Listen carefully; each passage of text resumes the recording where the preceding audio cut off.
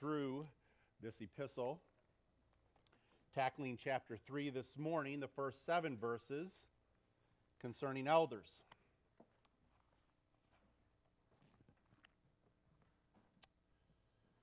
Let's pray. Father, we are grateful that as you have, through the divine inspiration, through the Apostle Paul, by the Holy Spirit, allowed Paul to pen these words so that the church would be in order rightly. I'm grateful for my brother Roger as we serve in this capacity, praying in advance, as I already did, for future men that you would direct to be elders in your church, both here at Redeemer and elsewhere. Teach us, Holy Spirit. And even whether one is not an elder, or if they are, to see your word and the importance of it in our lives as believers. So bless this time for your glory and for our good. We pray this in Jesus' name. Amen. Simple question, but maybe not so simple to answer. Have you ever sat before an elder board? Not in an informal setting per se, like in their home or at uh, some restaurant or a coffee shop, but also not in the context of church discipline, because usually when we think of sitting among the elders, typically, in most cases, in many cases, it is because there has been a process of church discipline that is at various stages. So I'm asking this more in the context of a non disciplinary issue. Have you ever sat with the elders at an elders meeting? Yeah, thank you. I appreciate that. you know, it's interesting, and I think based on many years as an elder and serving in this capacity, I, I think I can say with some certainty that most, if not all, perhaps, not all, you can't qualify it to that extent, have not sat among the elders at an elders meeting in a more formal setting. As a matter of fact, it's probably one of the last places you would rather be to be sitting perhaps among your elders, per se. I mean, think about it. How many of you would say to another brother or sister, Hey, I'm, I'm sorry, I can't meet with you. I can't come together. I have a very important meeting. I'm, I'm going to go to my elders' meeting and talk to them. All the while thinking, okay, they're probably thinking, well, what did you do wrong? Why are you meeting with the elders? It just doesn't happen these days. Or, or, or what about taking it on the flip side? What about the elders coming to visit you? At home, particularly? Perhaps in an informal setting like a coffee shop or a restaurant? Does it make you nervous? Does it make you anxious? Does it make you excited? Fearful? I mean, all, all these different, you know, some perhaps would even say, feel kind of proud. I've never had an elder in my home. Maybe there's an issue there of why the elders perhaps may need to come and be in your home, dealing with pride perhaps. But does this word come to mind concerning elders and being with the elders? Welcoming. I appreciate what one writer said as he was talking about this and contemplating this and considering a time with the elders to be a happy place. Now, there's a lot of talk about be everyone finding their happy place, but we're not going to go there. But he's talking about this in the context of being with the elders, even in a formal setting of an elders meeting, to be a, a, a, happy place to be. And so he tells this story back in the 19th century. A churchman from Edinburgh named David Dickson wrote this quote, Our people know well the necessity and usefulness of the office of the eldership. All over Scotland, there is a happy prejudice in favor of an elder's visit. No elder could ever say that they did not welcome his visits. The houses and hearts of the people are ever open to those whom they have called to the office. End quote. This is how elders ought to be treated with this type of affection. And I understand being in that role of an elder is not always the case. I, I wish it were more so in the church at large. Speaking for Redeemer, I'm grateful to serve, and, and Roger and I, as we've discussed this, to serve in this capacity and to, to, to be elders and under shepherds to serve the sheep. But you, but you see, in many churches, both elders and congregates only have this mindset of meeting together in the sense of discipline, or if they're upset with the elders, or things need to change at the church. It's usually in a negative context. So maybe we just have to rethink how we think about coming with the elders. I, I have always said the elders' meetings are always open. They're the second and they, we've changed, but they're the second and fourth Wednesday of the of the month. And if you just want to sit down and, and chat with the elders, bring concerns. Bring your joys. So we can pray with you. Now again, I, I confess we need to do a better job of that outside of that kind of formal context. What's interesting in coming to this text, particularly in the qualification that Paul lays out here, is how he's trying to get Timothy and the church at Ephesus to think about the leaders that God has placed over them and what that looks like. Turn over to Titus chapter 1 quickly. So 1 Timothy, 2 Timothy, Titus chapter 1. And beginning in verse 5, let me read verses 5 through 9. Paul writes to Titus under the inspiration of God the Holy Spirit. He writes this This is why I left you in Crete, so that you might put what remained into order and appoint elders in every town as I directed you. If anyone is above reproach, the husband of one wife, and his children are believers and not open to the charge of debauchery or insubordination. For an overseer, as God's steward, must be above reproach. He must not be an arrogant or quick tempered or a drunkard, or violent, or greedy for gain, but hospitable, a lover of good, self controlled, upright, holy, and disciplined. He must hold firm to the trustworthy word as taught, so that he may be able to give instruction in sound doctrine and also to rebuke those who contradict it. So even Titus gets some instruction on how to set up elders to oversee the churches there in Crete. And so this morning, as we come to this particular text, he's already laid out earlier in chapter 2 roles and responsibilities of men and women. Now he's just going to kind of kind of bring this home a little more as to the leaders who are there. And so would you follow along now back in 1 Timothy chapter 3 verses 1 through 7. The saying is trustworthy. If anyone aspires to the office of overseer, he desires a noble task. Therefore, an overseer must be above reproach the husband of one wife, sober minded, self controlled, respectable, hospitable, able to teach, not a drunkard, not violent but gentle, not quarrelsome, not a lover of money. He must manage his own household well, with all dignity, keeping his children submissive. For if someone does not know how to manage his own household, how will he care for God's church? He must not be a recent convert, or he may become puffed up with conceit and fall into condemnation of the devil.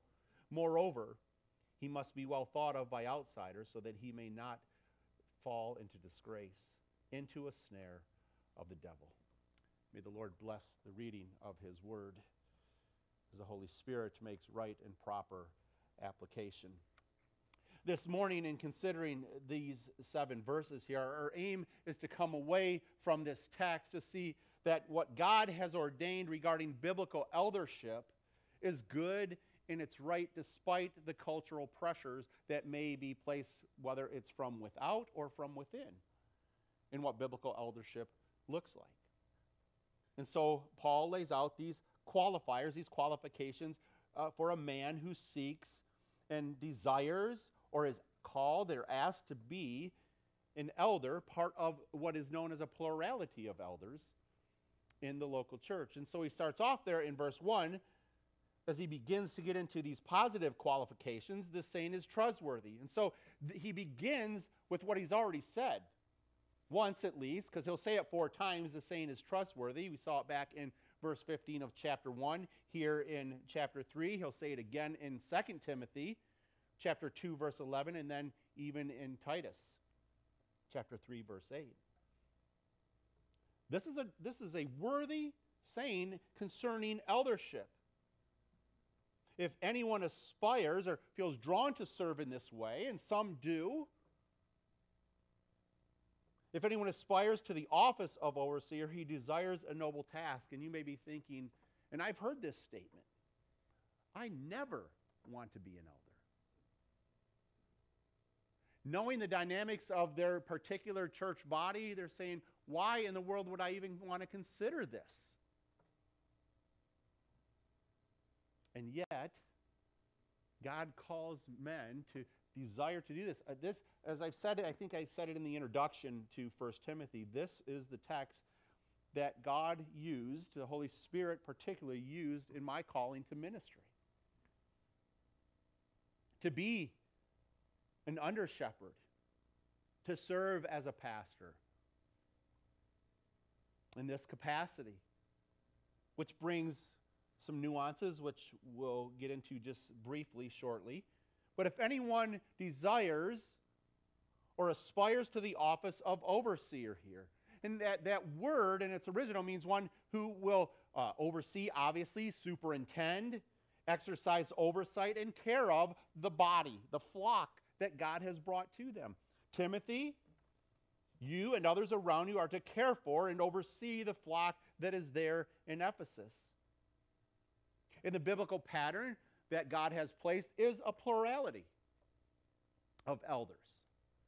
You see that in Ephesians, where Paul pulls the Ephesian elders together. Now, there are certain times that a plurality is, is not able to be in place. We've seen that in our own experience as a church prior to becoming a particular church in the Bible fellowship denomination. But that brings inherent dangers, perhaps abusive leadership, an authoritarian leadership.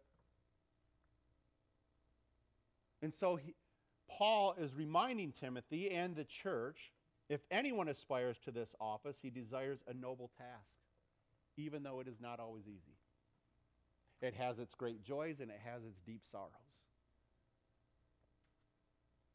But this is our calling as under shepherds, as, as elders, as overseers. And a lot of times you will see throughout Scripture overseer, elder, pastor. The titles are interchangeable. And so what I see as elders are a group of pastors shepherding the flock. They may not have the official title of pastor, but they are pastoring. And to, to see it that way. So he lays out this kind of statement to say, look, here is something that you must believe in. This is a very trustworthy saying and the importance of what God has ordained for these leaders over you. But in calling them, here are the qualifications for them. And so he lays out these positive characteristics or positive qualifications. And again, it really points to the, the gravity of the labor that they will partake of. This is the model he expects not only Timothy, but those men around him to exemplify. Not only then, but now for the local church. And so, before even getting into these qualifications, I would just frame it out with this statement Men, have you considered being an elder? And so, I, I, I, lay that question out again because I think it's something now God may call through the Holy Spirit directing them, but through putting other men in their lives to consider that, asking a question and what that means. So let's consider the, the qualifications then, even in light of that question. First, they are to be above reproach. That was mentioned in Titus chapter 1, verse 5. They're not sinless, that's not sinless perfection, but their character is free from scandalous sin, is the idea that Paul is getting there. And again, with the false teachers that were in place, there were probably men that took on this authoritative position that should not have been there outside of the church as Timothy's dealing with these false teachers. And so there were these men putting themselves in this authoritarian position within the church that they may have started that should never have been there to begin with because they were not above reproach. He, he goes on, the husband of one wife, and I think this is very important to consider this and what that really means, considering what he's already said there in chapter 2 and the role of leadership within the context of the local church. Now, what's interesting with, with this phrase, and, and so what you can come away with on one side is this to be the husband of one wife means that you can only be married one time, and if you are divorced, widowed, single, you're disqualified. Some have interpreted it that way. I disagree with that interpretation. I think it's I don't think it's a right interpretation there. I think what Paul is getting at is one who is married, he is committed to that one wife at this time. So you may have an issue where biblical divorces happen. And so a man is qualified, it doesn't disqualify him. He remarries biblically, and he may be considered for an elder. It doesn't mean that every elder has to be married. Paul himself was single as far as we know and can tell from what's written. If we take this that they must be married, we are excluding men who are qualified. That by that interpretation would disqualify them. that's not what Paul's saying here. I mean, more often than not, the men would be married. And so he's addressing them. You are the husband of that one wife. He deals with the issues of polygamy in the culture. And he talks about their role there. So when he lays out this qualification, the husband of one wife, he's concerned about those who are married, not to disqualify those who are widowed or even single.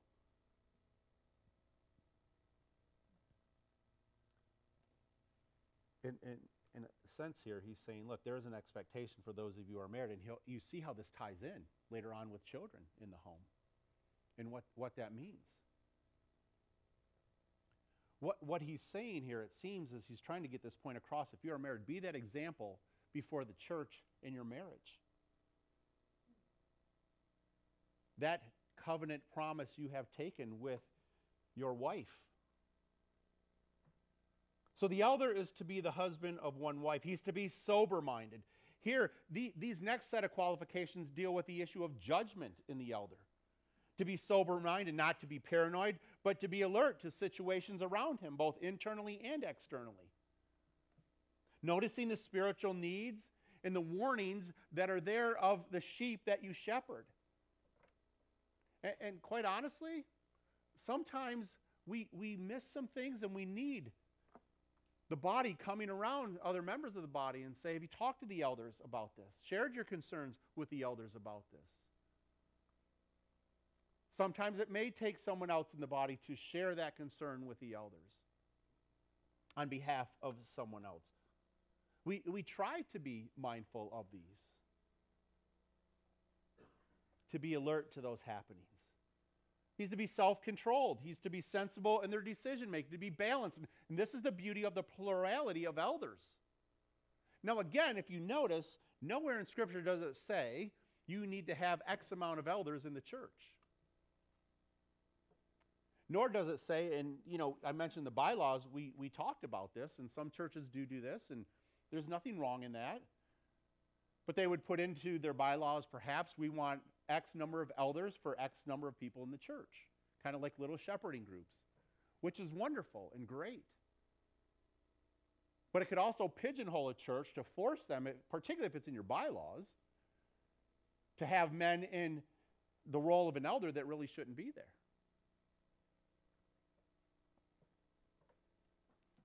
So we need to be sensible in our decision making. And sometimes those decisions and coming to those conclusions are really difficult and challenging. Look at what we went through with COVID. Look at what we go through as I prayed in a political climate, let alone just body life together. Family issues. And so the elder is to be self controlled and be sensible in its decision making, to be respectable, to be well behaved, respected by others both inside and outside the church, to be hospitable. This is what the elder does. The idea there, and Paul using that word hospitable, is to open their doors to strangers. And what that means, and, and that can be done in many ways. Literal strangers. As travelers were coming through, they had no place to stay. An elder would open up their home to a complete stranger, inviting them in for a place to stay and to feed them. We see that perhaps in missionaries that are passing through that we may know, inviting them to stay for one night or a period of nights. To serve others that are going about the kingdom work. That's the idea here. So we, we, we see this even to be hospitable. We sometimes think of this in regards to evangelism. Now, again, this isn't being hospitable so you can get your, your lost neighbors or friends or, or fellow students into your house and then all of a sudden you lock the doors and now you're really going to get them with the Ten Commandments. It's, it's not saying that. There's pieces of that that come together. There's relationships that have been built in to invite them. Some may come, some may not. But caring for others, particularly in the congregation, opening our homes, and that can be done in various ways and at various times. And, and again, on, on the flip side of that, in this qualification for an elder, there's a responsibility on those who are being invited. You know, you're not there, well, I've never been invited to the elder's house. Some of that just may simply be scheduling and trying to work calendars out. But we are to be hospitable, to open our homes. We've, we've I, have seen articles, and I've mentioned this in the past messy hospitality.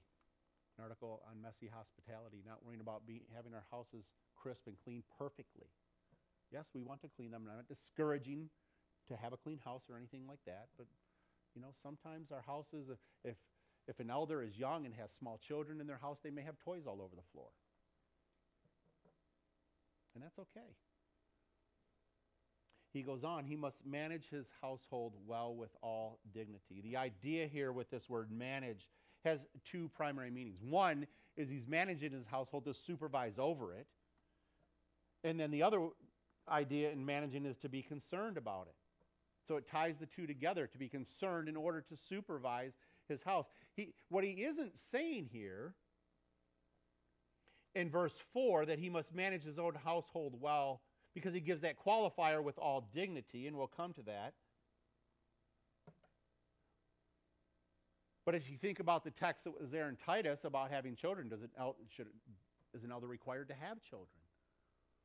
Now, later in going through Titus, we'll see. And so I'll let that out that it's not that he must have children, but if he does have children in the household, here's the expectation in there. If he does have children, his house must be in order. It means his children heed his authority. Not that the elder is this authoritative figure. It's my way or the highway. Now, there's aspects to parenting that come in where there is commands given and obedience expected. We're back to Ephesians 6 and children obeying your parents in the Lord for this is right.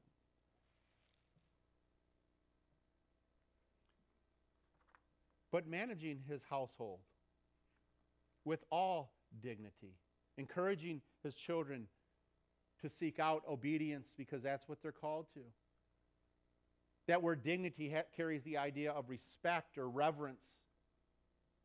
It, it, it comes back in how children have the respect towards their, their father, particularly as an elder. Now, as parents, we, there are things that we expect and even demand from our children. Not so much so that we are exasperating them, though, as Paul also reminds us as fathers. When he asks this question in verse 5, as he continues, he must manage his own household well with all dignity, keeping his children submissive. Again, it's not this iron fist over them, this rule over them, but that they are obedient. Verse 6, he must not be, or I'm sorry, verse 5, if someone does not know how to manage his own household, how will he care for God's church? You see the correlation there. And that is a challenge. Every parent knows that. That word manage there harkens us back to Luke's gospel in, Luke chapter 10 in the, the parable of the Good Samaritan that Jesus lays out there. How the Samaritan came by, and it says there in verses 33 and 34 then he set him on his own animal and brought him to an inn and took care of him. He managed him. Because managing always involves sacrifice. I mean, do you not think that Good Samaritan had his own schedule and busyness of what he wanted to accomplish that day, and yet he took the time out to care for this one who was laying by the side of the road? It, it, comes to an issue of being inconvenienced. And sometimes we've had this discussion even in our home, and I'm sure many other elders have had this discussion. Balancing out church needs and family needs. and to understand what that looks like and how to respond rightly to those.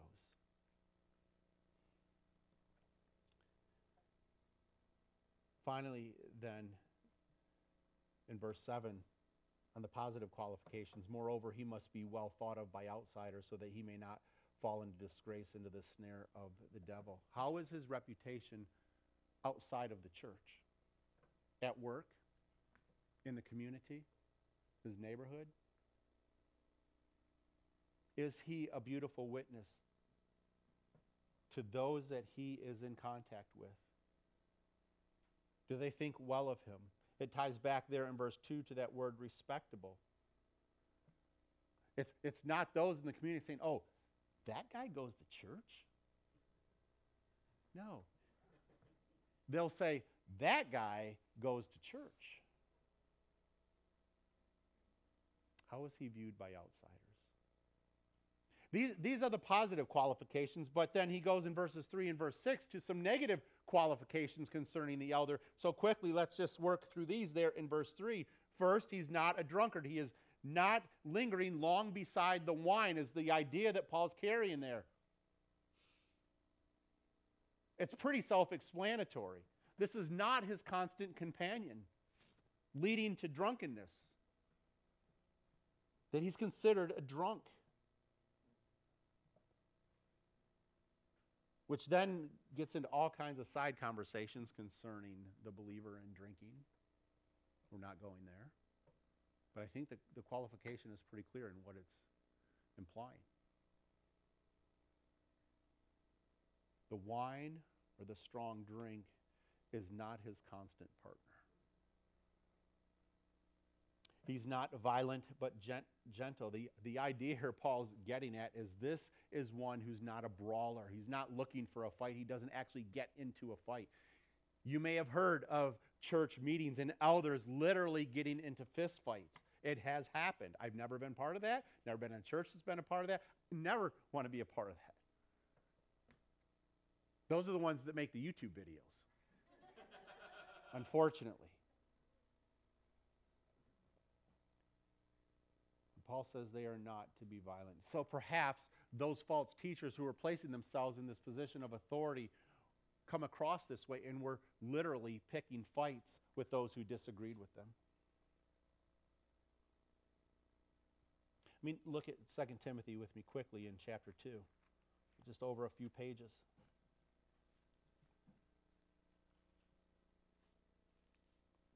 We're again speaking in reference to elders and the Lord's servant, verse 24.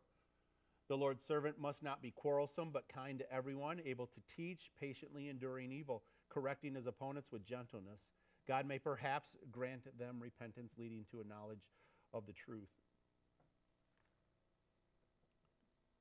And so they're not violent, but they're gentle.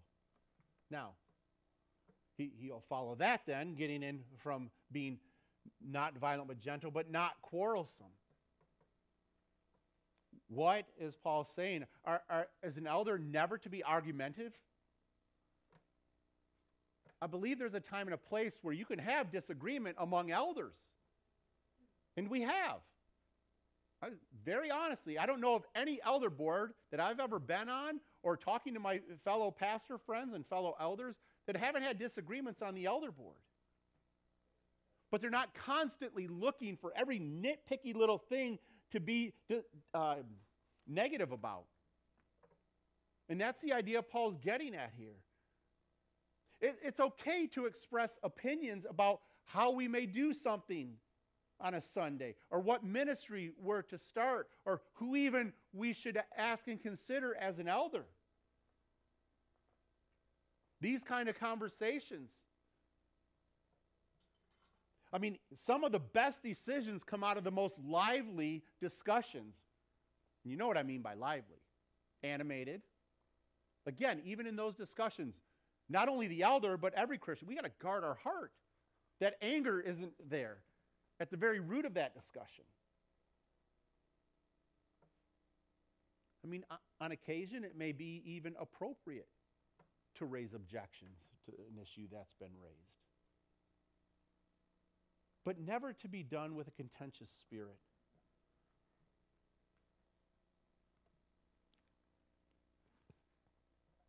In the life and ministry of church life, as elders, yes, you always want unanimity. Whether we're voting on something pertaining to the church, but it's not necessary always. Now, we only have two elders, so it's pretty easy. But when you talk about boards that have, you know, five, six, seven, ten, some churches have 20 plus elders.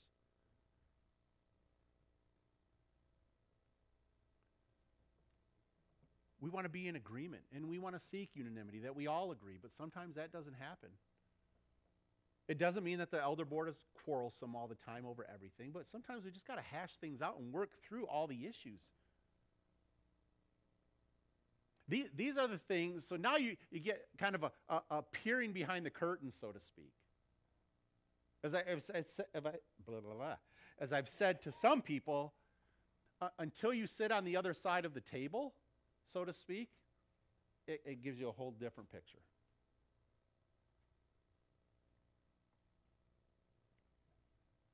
Not quarrelsome. I mean, even I think Paul has in mind here, as he's speaking to Timothy, not only internally for the elder board, but even externally uh, between the sheep and the under shepherds.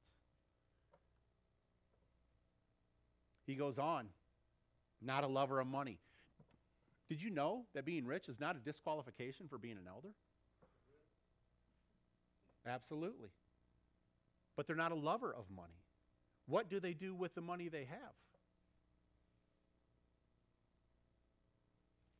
God uses those who have accumulated wealth, but how are they serving the church and the ministry, the kingdom work with the money they have? Some people will say you could even take this, usually, you know, if we think about this in a right perspective, those who usually have accumulated wealth have done well in a business, in their profession. Therefore, because they've done well, therefore that qualifies them to be an elder. And I say flat out no. It may qualify them to be an elder according to these qualifications. But just because they're a president or CEO of some bigger company, even smaller company for that matter, doesn't necessarily mean they would make a wonderful elder to serve the church. Do they love money? I mean, that's why the writer of Hebrews there in Hebrews 13 5, keep your life free from the love of money and be content with what you have. Finally, then, in this qualification here in verse 6, lays out some things. He, he must not be a recent convert. You know, here lies the one qualifier that disregards the age of an elder. Did you think about it? Ever think about it that way? Some will say, well, I don't, I don't think this young man should be an elder because of his age. That may be the case. But never in the qualification do we say an elder must be, you know, 35 plus. He must not be a recent convert so he doesn't get puffed up and proud and fall into the condemnation of the devil. That one who is not able at that time in his faith journey to, to defend doctrine. There are, there are some men, and I've served along some, some young men who were just so, um, had so much wisdom, biblical, theological wisdom, that the elder board needed them to come alongside of the rest of the elder board and bring that biblical wisdom there. I mean, th- honestly, this is the thinking that's there. Maybe that's been your thinking. Maybe you, you've been in a church that had this thinking. There is a component of, of wisdom that is gained just from life experience. But being under 30 doesn't disqualify someone necessarily, unless they are a new convert. Paul says here, consider his spiritual age, not his biological age. And why? Because they'll become proud, thinking they have, and you, you see that both in younger men and even in older men being elders. There is this position and expectation. And, and sometimes elder boards can get this way. Thus says the elders. Now, I need to qualify that and quantify that. There are decisions elders make that are pertinent to the life of the church and the life of the body together. And so there is that component and, and with leadership. But this is the danger, too, of elder boards and, in particular, elders taking that authority that is, is granted to them to oversee the life of the church and run with it in a way that God did not intend. Now, that's where, by God's grace, you have other elders coming around them. And this is the beauty of the plurality of elders and eldership. To have those other men come around them and say, listen, brother, you are way off base. You need to get off that high horse and just come back down and stand on the ground and even sit. You're way out of line. But Paul says, look, and, and, we're not given the whole context of, of the men that were in the church there in Ephesus and what age demographic they were in. But negatively, he must not be a recent convert. And then, uh, you know, just to, to, kind of bring this to a close, then questions come up. But, but what about this? What about this situation in the past? Does that disqualify them? Does it qualify them? Perhaps. It may. It may not. Some will say, but what about grace? What about forgiveness? Yes, grace and forgiveness are there, but it still may disqualify someone. Think of the Israelites. They sinned against God. They wandered in the desert for 40 years. And what was the consequence? Even though there was forgiveness and there was repentance, continuous repentance and forgiveness. And yet, they didn't enter the promised land. Sometimes the choices we make in life have lifelong consequences. So it could be yes, and it could be no. And, and this is where I, I believe, and we believe as, as a board, that we trust you as a congregation are trusting us to make those decisions. Doesn't mean you can't ask questions. Does it, it doesn't mean you may even have to just flat out agree. You may have disagreement. That's why I asked the question at the beginning Have you ever sat in an elders meeting? Sometimes it just means there's just misunderstanding of words without judging motives.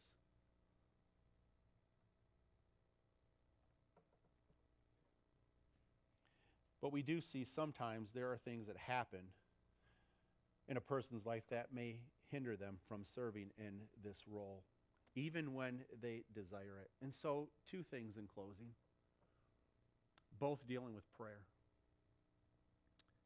Pray for biblical wisdom and discernment for the elder board, for the elders of Redeemer Church.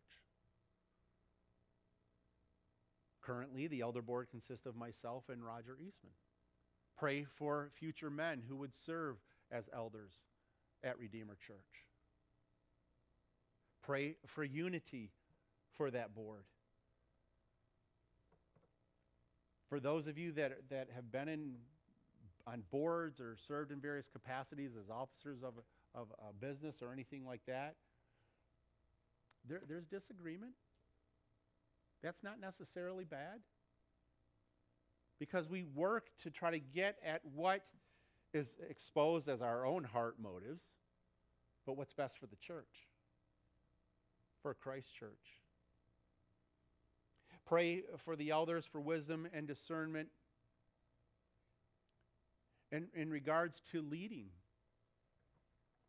When the culture just presses in so hard at times.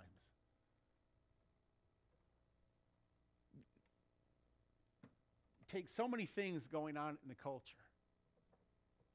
Who knows if protesters will show up here?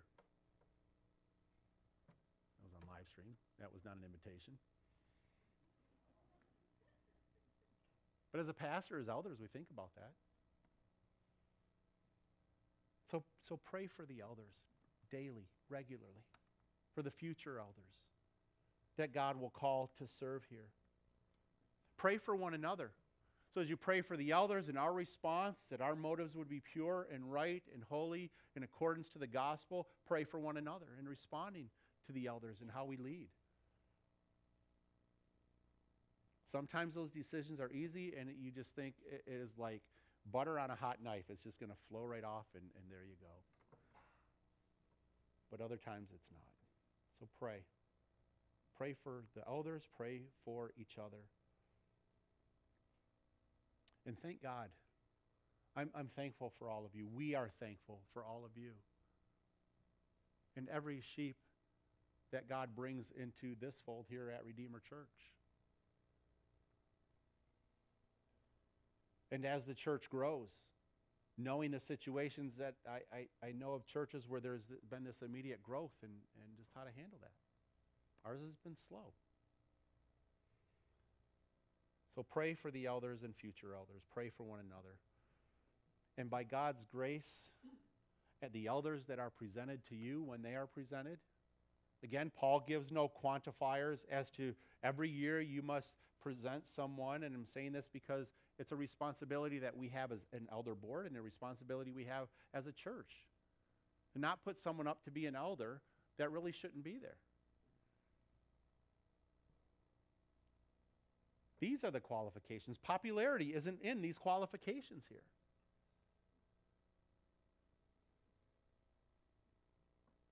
If you look at these positive qualifications, underlying all that is humility. So let's pray. Father, we do pray for the elders here at Redeemer.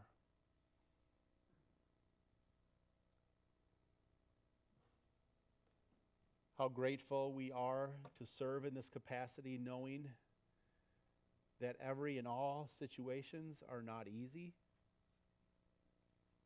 that it's challenging, that at times it's even heartbreaking.